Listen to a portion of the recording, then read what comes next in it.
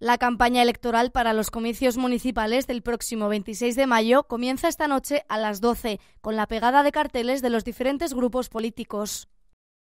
Chunta Aragonesista arranca sus actos en Navarrete del Río el sábado a las 7 de la tarde. A las ocho y media la charla mitin se traslada al Echago.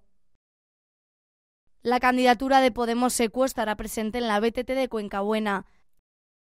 Su acto central de campaña será el domingo a las 6 de la tarde. Acompañarán a Bayona la candidata a la presidencia, Maru Díaz, y Marta Prades, número uno por la provincia de Teruel.